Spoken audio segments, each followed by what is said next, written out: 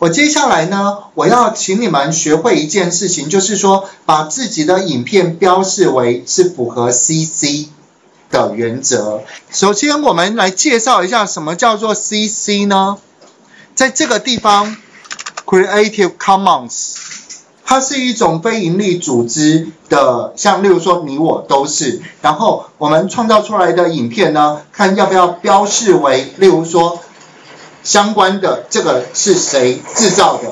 好，或者是不能用在商业用途，还有不可以去做任何内容的修改。所以在这个地方呢，稍微简单认识一下什么叫做 Creative Commons，就是这个创用。而且我现在介绍是台湾创用计划哦。所以在这个地方，它大概就是，如果您看到这个图示，就是您必须要标明出处，标明。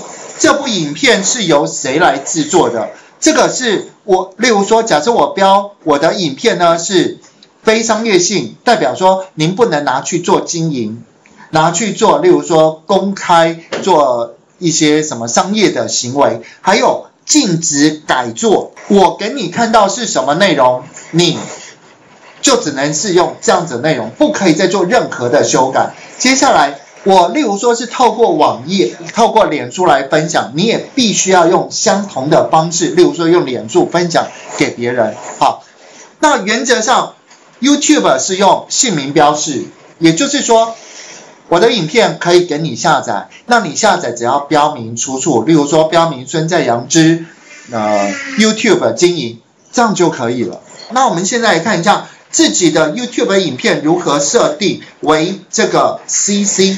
自己的这一部影片，我们当然可以点这个编辑喽。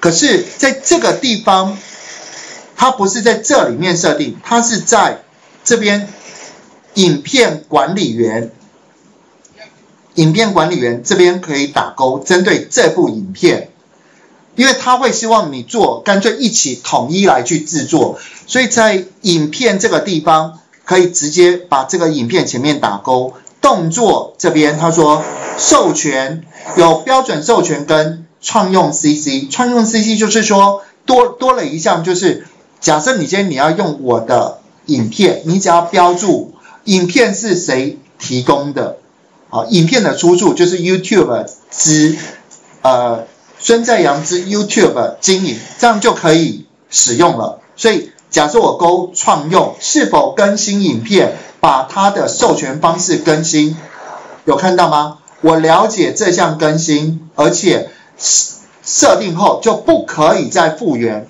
或取消。所以万一有一些什么其他的问题，大不了就重新再制作这部影片。好，是我要提交。这个图示就是正在编辑中了，那个双箭头。好，您看这边是不是又多了一个人了？也就是说，您以后哦。你以后如果是下载我的这一部影片，可以，但是你只要标明是谁制作的就可以了。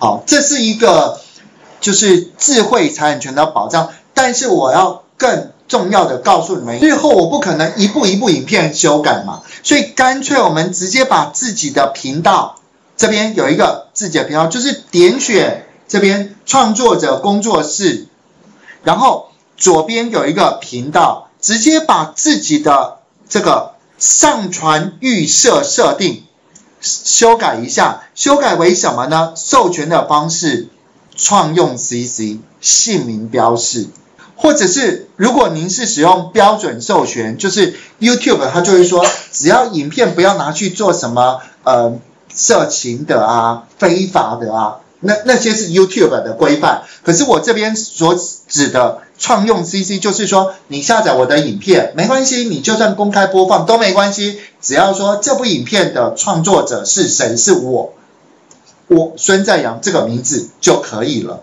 当我点选这个创用 CC 姓名标示，然后储存以后，我再上传的影片全部都会出现。这个创用 CC 这样子一劳永逸，一个是什么？一步一步设定，一个是什么？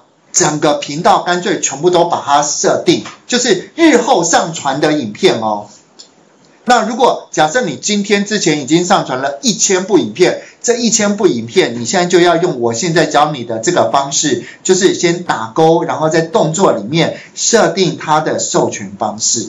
好，这是提供给你们参考的哦。看您觉得说你的影片希不希望授权？我会建议公家机关所有的影片都至少要做授权。就是我可以允许每一个人都拿去使用，但是呢，你要标明出处。那这是提供给你们参考的部分，这就是我们的授权。